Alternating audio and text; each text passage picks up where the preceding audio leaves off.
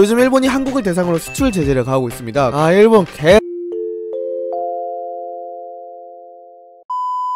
그리고 한국에서는 그에 상응하여 불매운동과 WTO 제소로 맞서고 있습니다. 한일 간의 무역 분쟁이 왜 발생했는지 알아보도록 합시다. 저는 그래도 중립적인 시각으로 바라보기 위해서 한국과 일본의 입장 둘 다 보고 말씀드리도록 하겠습니다.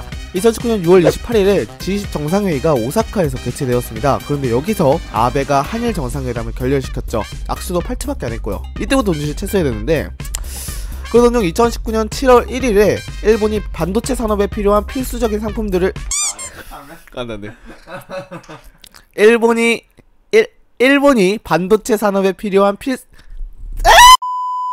일본이 반도체 산업에 필요한 필수적인 상품들을 수출 제한한다고 나섰습니다. 그냥 대한민국은 화들짝 놀랐죠. 그리고 일본은 다음과 같이 말합니다. 아니 왜 강제징용대 배상 판결 내려 이미 1965년 다 보상해줬잖아 씨 어? 아 너에 대한 무효 안해 아 이거 제재할 거야 어?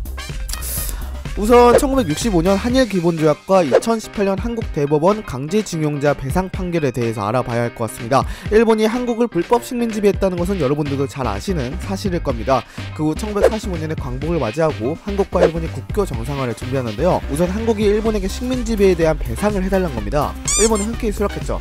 물론 여기서 미국이 엄청나게 개입을 하고 일본에게 압박을 하기도 했습니다. 빨리 한국에게 배상하라고요. 그래서 결국 일본은 한국에게 8억 달러를 주는데요. 당시 한국의 2년치 국가 예산을 준 겁니다. 어느 정도인지 감이 오시나요? 예, 상대적으로 좀 많이 준 편에 속합니다. 그리고 시간이 흘러서 2018년이 되었습니다. 일제강점기 강제징용 피해자들이 신일철주금을 대상으로 손해배상금을 청구합니다. 그리고 대법원은 강제징용 피해자 4명에게 1인당 1억 원씩 배상하라고 판결하죠. 네, 여기까지만 알아두시면 될 것 같습니다. 다시 지금으로 돌아와서 일본 입장에서 봤을 때 아니 우리가 1965년 때 배상하라고 해서 다 배상해줬잖아 근데 왜 또 배상을 한 거야 라는 입장이고요. 한국 입장은 아니 뭔 소리 하는 거야? 우리 정부한테 달라고 했어? 기업이 개인한테 배상하는 거잖아. 국가 대 국가가 아니고. 입니다. 결국 2018년에 강제징용 배상 판결이 이 분쟁의 원인이 된 것입니다. 요약하자면 일본의 주장은 1965년에 이미 배상을 했는데도 한국이 다시 배상 판결을 내렸고 한일 기본조약을 한국이 일방적으로 파기했으니 무역 우대 조치를 취소하겠다이고요. 한국의 주장은 2018년 강제징용 피해자 배상 판결은 국가 대 국가의 배상이 아닌 기업 대 개인의 배상이므로 한일 기본 조약과는 상관없다입니다. 누구의 말이 맞는지는 이 영상을 보고 계시는 여러분이 직접 판단하시면 될 것 같습니다. 아직 현재 진행 중이기 때문에 누가 옳고 그른지는 판단할 수가 없을 것 같거든요. 근데 이거 하나만큼 확실히 말씀드릴 수가 있습니다.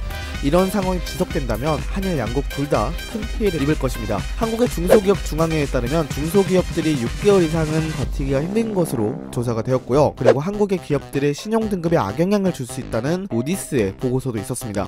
그렇다고 해서 한국만 피해를 입느냐? 그건 또 아닙니다. 삼성이나 SK의 일본 수출이 막히면서 일본 중소기업들의 운영이 일시적으로 셧다운되는 상황까지 만들어졌고 IT나 전자기업들이 치명적인 타격을 받게 된다는 일본 언론의 보도도 있었습니다. 다시 말해서 둘 다 큰 피해를 입는다는 것이죠. 어, 결론이 어떻게 날지는 모르겠지만 어... 뭐 잘 되겠죠? 네네. 이상 영상 마치도록 하겠습니다. 빠이엄! 이상 상식이 비그로문달 센서 스튜디오였고요. 주제를 신청하시려면 댓글로 센서 스튜디오의 더 많은 영상을 시청하시려면 구독과 좋아요, 알람 설정을 해주시면 감사하겠습니다. 감사합니다.